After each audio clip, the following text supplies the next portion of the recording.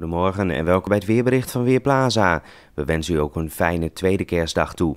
Helaas is het weerbeeld niet zo vriendelijk. Op de meeste plaatsen overheerst de bewolking. Alleen in het noorden, vooral op de Wallen, schijnt af en toe de zon.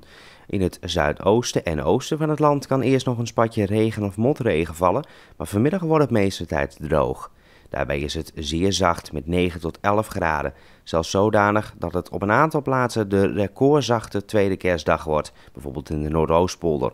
Er staat verder een matige en zee vrij krachtige wind uit het zuidwesten. Vanavond ontstaan er wat meer opklaringen, maar er zijn ook nog flinke wolkenvelden. Het koelt dan ook niet ver af.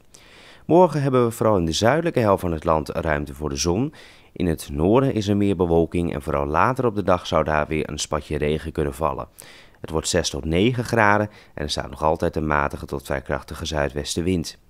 Woensdag, donderdag en vrijdag blijft het licht wisselvallig weer met veel bewolking, af en toe ook ruimte voor de zon en soms een beetje regen.